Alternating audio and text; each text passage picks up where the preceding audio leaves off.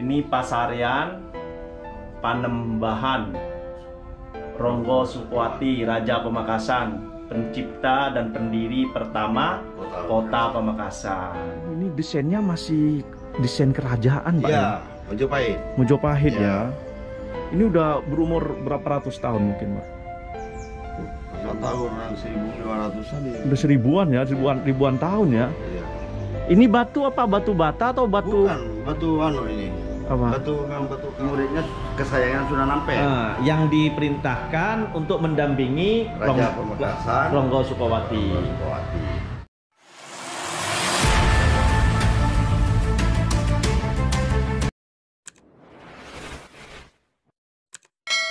Assalamualaikum warahmatullahi wabarakatuh. Kembali lagi bersama saya Pak Islame dari Pamekasan Madura. Bagaimana kabarnya sahabat-sahabati semuanya? Mudah-mudahan selalu di dalam lindungan Allah Subhanahu wa taala. Amin ya rabbal alamin. Sahabat, pada video kali ini saya ingin berkunjung ke salah satu makam yang sangat bersejarah bagi kota Pamekasan yaitu raja pertama Islam yang ada di Pamekasan yaitu makam Raja Pamekasan Ronggo Sukowati. Dan istimewanya juga sahabat, pada kali ini saya langsung didampingi oleh juru kunci atau orang yang menjaga di makam ini. Mari kita kenalan dan nanti sahabat kita akan melihat langsung makamnya ya. Katanya bukan hanya makam dari Raja Ronggo Sukowati, tapi ada makam-makam yang lain. Kita kenalan dulu. Assalamualaikum. Waalaikumsalam. Dengan Pak siapa nih? Dengan Pak Yadi. Dengan Pak Yadi ya. Ya. Benar sampean yang jaga makam ini Pak ya? Ya. Mungkin agak deke- deketan dikit takut kurang jelas suaranya ya. Sudah berapa tahun Pak di sini Pak? Saya mulai tahun 2015. 2015. keluar SK. Eh, yang tetap di sini ya, Ya, SK-nya. tetap. Tapi sebelumnya memang sudah Oh ya, mulai dari kecil. Oh, dari kecil. Ya.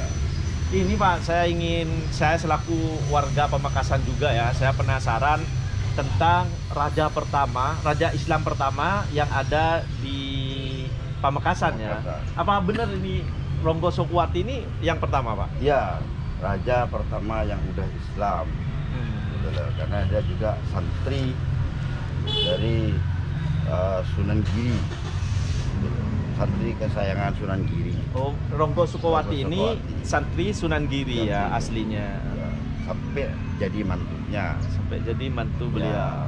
dan menjadi raja di Pamekasan. tahun berapa itu Pak kalau boleh tahu perkiraan? Perkiraan itu tahun 1538. Sebelum jauh sebelum merdeka Oh ya, sampai 1545.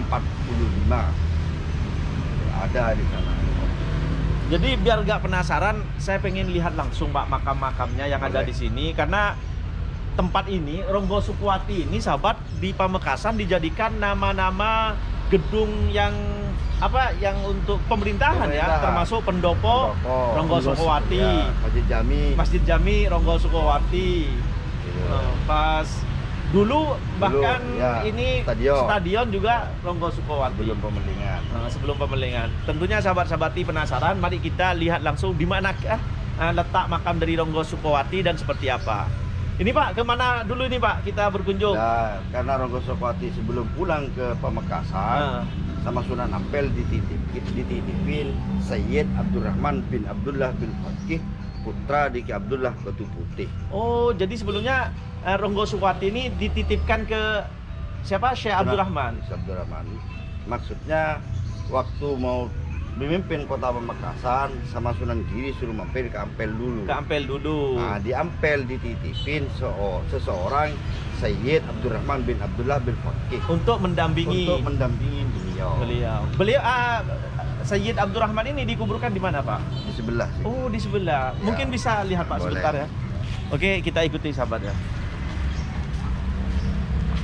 Dan ini termasuk di pertengahan kota Pak ya. Pertengahan kota.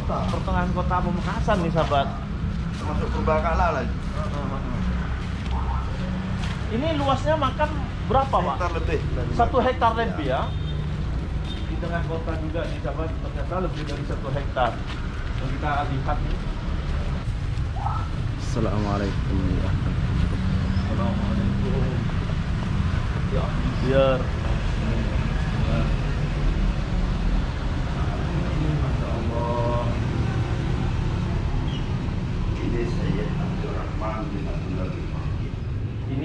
Mendampingi, Ronggo mendampingi Sukowati ya. Raja Pamekasan Ronggo Sukowati. Kalau ini santrinya Ini santrinya dari dari Syed Abdurrahman ya. Ya. Ini bisa dilihat sahabat nih. Biar jelas ya. Tuh Sayyid Abdurrahman bin Fakih. Ini santrinya ya. Santrinya. Ini salah satu eh, orang atau kiai ya, termasuk kiai Pak waktu atau murid masih. Ini Dari dari Sunan Ampel. Termasuk am- muridnya kesayangan Sunan Ampel. Nah, yang diperintahkan untuk mendampingi Raja Rong- Pamekasan Ronggo Sukowati. Ronggo Sukowati. Tuh, masya Allah. Kiai Ratoh. Nah, Panggilannya Kiai Ratoh ya, panggilan Ya, populernya ya, Kiai Ratoh. Ratoh kata orang dulu. Oh, oh. Nih Ahmad bin Abdurrahman bin Fakih. Ini mungkin saudaraan Pak ya. Ya. Tuh, Masya Allah.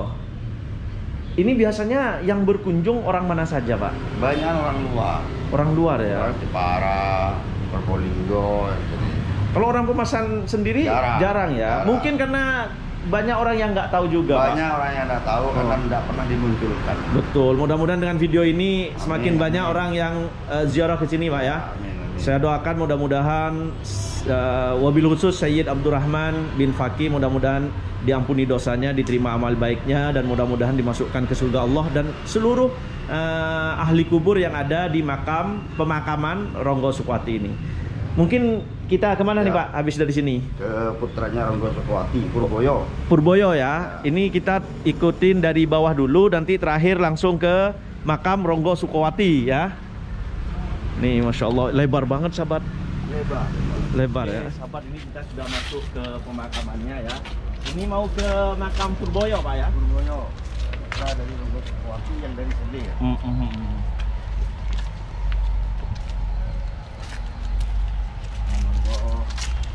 Mudah-mudahan ahli kubur yang ada di tempat ini semuanya diampuni dosanya dan dimasukkan ke surga Allah. amin, amin, amin.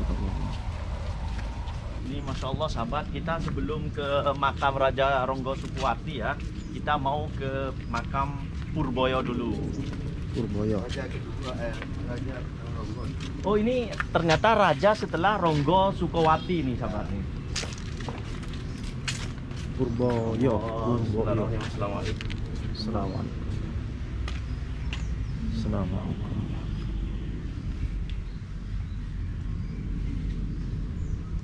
Ini termasuk raja kedua ya. Raja kedua dari Ronggo Sukowati. Mungkin ada sejarah tentang anu ini pak.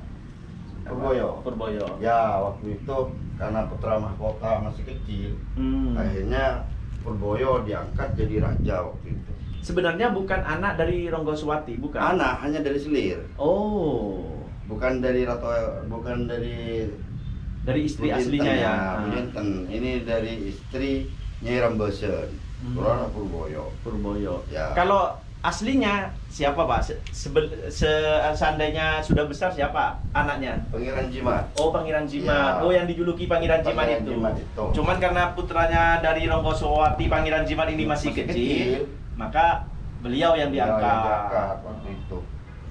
Jadi yang perang dengan Mataram bukan Ronggonya, Pangeran Purboyonya yang berperang. Oh. Gitu. Kalau Ronggo udah sepuh, Iya iya iya. Oh jadi waktu pertempuran dengan Mataram, Mataram, yang mimpin yang mimpin Purboyo. Purboyo. Iya. Mungkin ada sejarah waktu peperangan itu pak. Lah, ya, makanya sampai dia mengatakan ketimbang putih mata mendingan putih tulang. Oh. Nah, karena perbandingannya prajuritnya 100 orang, musuhnya lebih dari 1000. Oh. Kita berperang dengan titik darah penghabisan. Akhirnya meninggal. Akhirnya meninggal. Meninggal beliau di peperangan itu. Di peperangan waktu itu. waktu itu. Jadi ini sahabat istilah ini sangat populer di Madura daripada kita hanya menyerah, tidak berjuang, istilahnya putih mata, pura-pura tidak melihat, Ya. Pak ya. Lebih baik kita putih tulang, Putih tulang. intinya eh, mati di medan perang perang. atau meninggal di medan perang dan ini salah satu contoh orang Madu, eh, apa Raja Madura yang meninggal di medan medan peperangan. perang. Walaupun musuh seribu, Nah. tapi tetap lebih baik putih tulang tetap sahabat. Ya. Hebat, hebat. Kita ke mana nih Pak habis ini Pak? makamnya Ronggo Sukowati. Ronggo Sukowati. Ini sahabat seharusnya masyarakat Pamekasan ya, khususnya ya mudah-mudahan ada pemerintah juga yang menyaksikan ini. Ini banyak sejarah tentang Pamekasan yang seharusnya di, dipublikasikan ya Pak, karena Oh, iya. banyak apa anak-anak sekolah, penerus kita itu yang tidak tahu gitu. Ya. Termasuk buku-bukunya mungkin sekarang sudah jarang ditemukan, Pak Dari ya. terbuka. Yang ditemukan. Ini mudah-mudahan dengan video ini bisa menjadi wawasan baru nih, sahabat. Yang dikuburkan di sini ini mayoritas masyarakat sini atau gimana, Pak? Mayoritas masih ada satu masih ada keturunan ya. Hmm. Gitu lah. Karena di sini nih udah daerah Palekambang, Hmm. daerah Kemuni itu udah ada tempatnya masing-masing. Gitu lah. Kalau ada yang meninggal nih, Pak, apakah harus laporan dulu ke sampean kalau mau dikuburkan di sini atau gimana, Pak? Oh iya memang. Harus laporan Ya. dulu ya. Biar kita ndak bingung kalau keluarganya datang yang dari jauh. Oh, oh, oh, oh, oh. Tinggal ditunjukin Ya, ya. tinggal ditunjuk. Iya. Oh, oh, kita sekarang langsung ke mana nih Pak? Ke makamnya Raja Raja Pamekasan. Ronggo Sukowati ya. Ini sahabat, kita langsung menuju ke makam Ronggo Sukowati. Oh, ini gapuranya Pak ya? Ya, ini.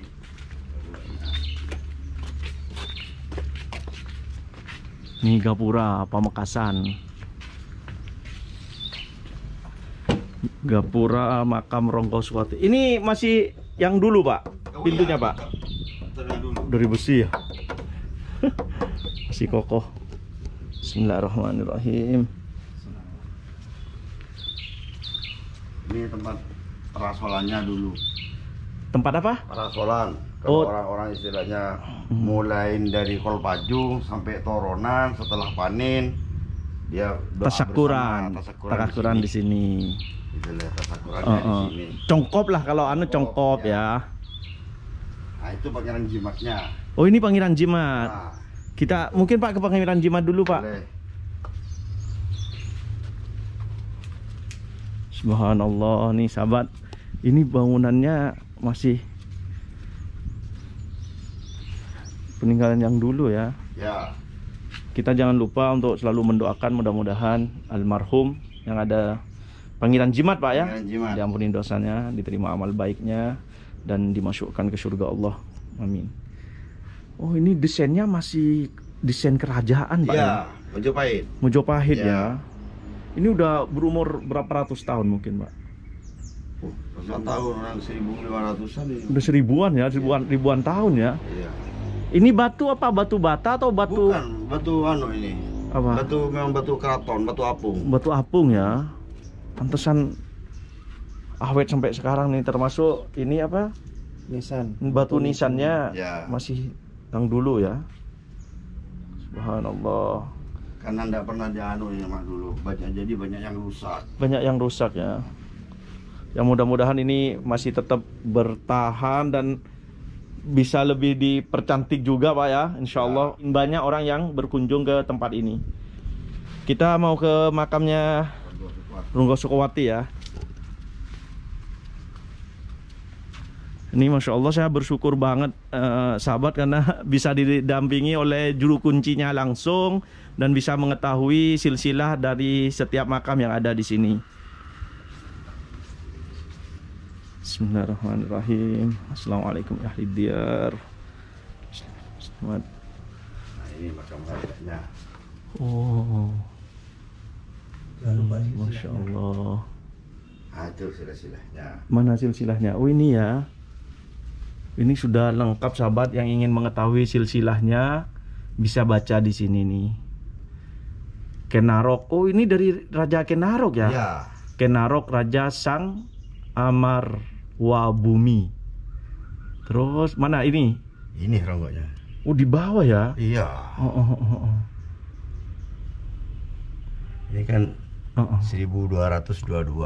1222. Kalau Ronggo Sukwati 1624. Nih sahabat. Jadi pokoknya yang mau mengetahui secara mendetail bisa langsung ke sini nih sahabat. Asli sebetulnya ini kan. Oh. 1530 dia bertugas Hmm. sampai 1600 Meninggalnya itu berarti. Iya. Ya. Jadi barusan itu sahabat di dalam silsilah itu yang dicatat wafatnya, wafatnya ya. Ah. Padahal ini mulai bertugas Bertugas. dari 1530. 30 ini pasarian Panembahan Ronggo Sukwati Raja Pemakasan pencipta dan pendiri pertama Kota Kota Pamekasan. Masya Allah. Ininya juga mengandung filsafat ya. Hmm. Gimana nih filsafatnya Pak pagarnya nih? Bahwa Rogo Sukuwati ini pada zamannya Hmm. senang bercocok tanam. Oh benar benar benar benar. Nah, contoh- contohnya ah, ini seperti ini contoh untuk cocok tanam. ini. Iya buah-buahan Gitu. ya. semuanya Uh-uh. senang ke binatang. Betul betul. Ini ada burung juga. Nah, Jadi ada silsilahnya juga ini ada sahabat. hasilnya waktu dari Purbakala Mojokerto menafsirkan ini. ya. Hmm. Jadi tidak ada perubahan sampai sekarang. Sampai sekarang ini ya. Ya. Jadi waktu zamannya memang belas asiknya luar biasa Rogo Sukuwati. Hmm, hmm. Gitu ya.